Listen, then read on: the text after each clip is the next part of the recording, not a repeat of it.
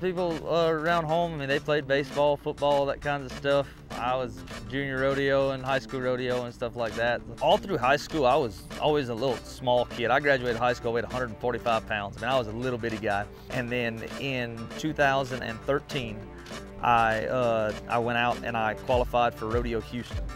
And so me and my dad go over there. My dad was hazing for me. It's by far the biggest stage I'd ever been on. And I wound up, I won my series, which was an awesome accomplishment. I mean, I remember my dad, I thought was the happiest person in the world, just super proud. It was great. And uh, we left there and went to Austin, Texas. I made the short round at Austin, Texas, right there all the same weekend. Come back to Houston, I made the final four, and I got back home the very next day, and I had more money in my bank account than I've ever had. And I can still remember my dad walking into the house and said, hey boys, don't you have horses to go shoe today? I said, well, Daddy, I said, I got enough money right now. I'm entered in rodeos for the next two weeks. I said, we're going to see how that goes for a little while. And I never got under another horse to shoe. I've been out on the road ever since.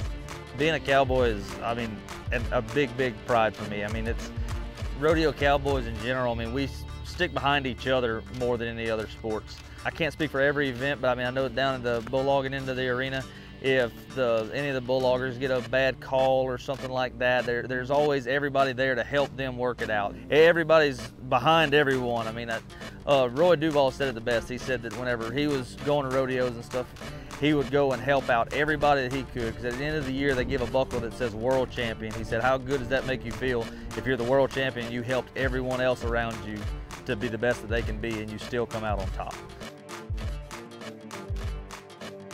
In our group, I know we always joke about you'd rather be lucky than good. I mean, I, I, made a run yesterday morning in Lovington. It's no way, shape, or form the way that you would design it in your head or to visualize your run. I barely caught the steer, and uh, luckily he was a good steer, and I caught him right at the right time, and I wound up being four seconds flat on him. But I mean, it was it was an extremely lucky run. I mean, I was definitely pulling rabbit out of a hat on that one. Whereas everybody always sit back and laugh at you. Oh, come on, you're lucky, golly, I can't believe that. Well, I'd rather be lucky than good talent can only get you so far. You got to have a little bit of luck on your side. I love the high stakes pressure pressure situations.